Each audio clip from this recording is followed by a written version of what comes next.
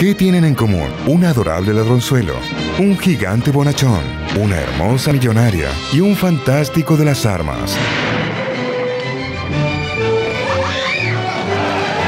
Que todos llegaron a ser policías.